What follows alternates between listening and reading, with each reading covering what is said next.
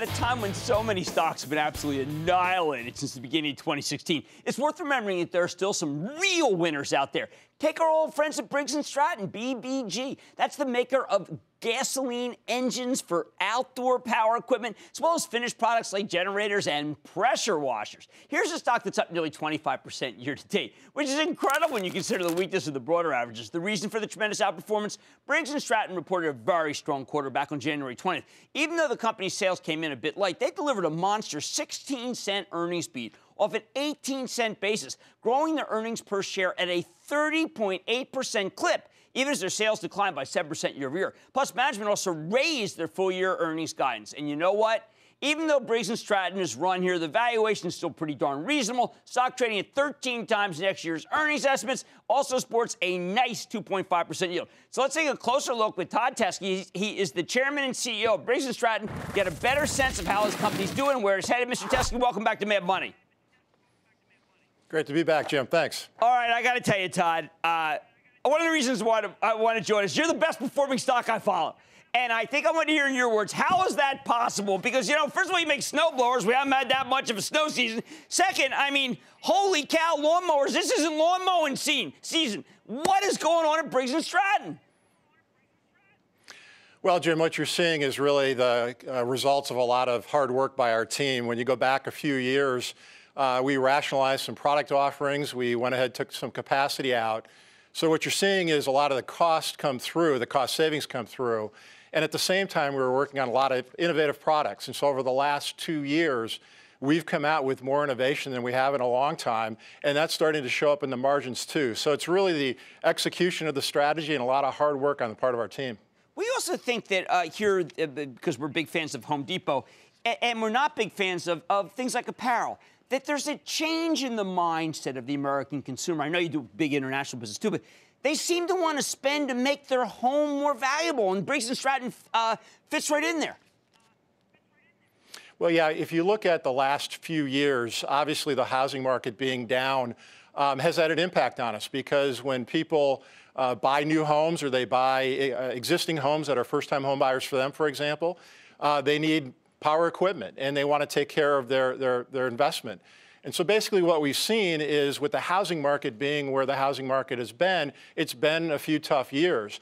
Now we're seeing the rebound in the housing market, which is obviously showing up then because of the linkage we have uh, to, to housing, we're starting to see that show up in our numbers. So that's, that's very helpful too. Plus, when you look at our exposure to the U.S., we've been trying to uh, diversify our business geographically. we are about 70-30 right now, U.S., non-U.S. Um, you know, for a few years there, it didn't feel very good of being mostly a U.S.-based company with where the housing market was. Now it feels pretty good to be in that, in that spot. So we think we've got some additional runway out there simply as housing continues to go uh, I think our, I think we'll we'll continue to see an uptick in the market for us. Well, I, I got to tell you, I, am so glad you're on now. On November 10th, 2015, uh, at Baird Industrial Conference, you said that Q3, January through March, is the beginning of high season. How is high season going? Well, it's a little too early to tell because we're still kind of in this funny period where it's February and obviously stores are being stocked for the spring selling season.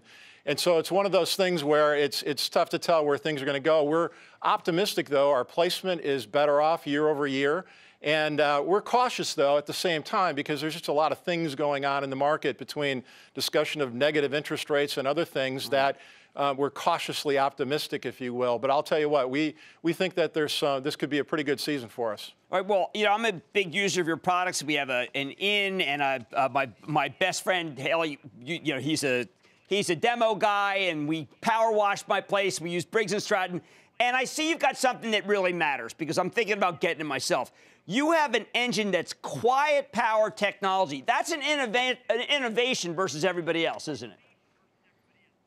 Well, it is, and, and, that's one of the things that we've been doing with innovation. So starting in noise and, and storage are really three big things that customers look for and users look for in equipment. And so the quiet power technology that you refer to is 66% quieter than other things that are on the market. It's pretty remarkable, Jim, when you go through it. And, and, and starting, the other thing, we're using lithium ion batteries for push button starting on a walk behind lawnmower.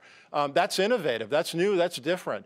And then when you look at mow and stow, I mean, we've got a, a, a, mower that you can stand on end. And I don't know about you, but I don't have enough garage space. I mean, three and a half car garage, I could have 10 car garage uh, space and not have enough room. And quiet and, and mow and stow ultimately allows you to gain back some of that garage space. So those are some of the innovations that we've come out with in the last couple of years. And I really have the privilege of being able to see what's in the pipeline, and I'm pretty excited about the next five years and what we're, going to be coming out with. Uh, last question. Deere reported a not so great quarter. AGCO reported not so great quarter. You do have a kind of affinity to ag. Why have you guys not been hurt by that? Well, it's really not so much ag, Jim. It's, it's, it's lawn and garden, and we're really tied more to housing than, than agriculture. So when you look at housing and people mowing their lawns, that sort of thing, that's where we really, uh, that's where we live, if you will. Um, the, the ag exposure that we have in the U.S. is pretty small. And when you look internationally, where you have tillers and things that are used in agriculture, still a pretty small part of our business. So really, it's the housing market and, uh, and people cutting grass here in, here in the U.S. and over in Europe. Well, I got to congratulate you, Todd. It's been a remarkable year for you already, and it's a great company, and we love your products. Thank you so much for coming on Mad Money. Thank you, Jim. It's Todd Teske, Chairman, President, CEO of Briggs & Stratton. I came at this from the other side. Love their products. Amazing to see the stock do so well. But they've got the better mousetrap. Mad Money's back in. Great. Booyah! Jim Cramer here from Mad Money. Thanks for watching CNBC on YouTube. Click here to subscribe and get the jump on my exclusives with CEOs, plus market news, investing advice, and a whole lot more.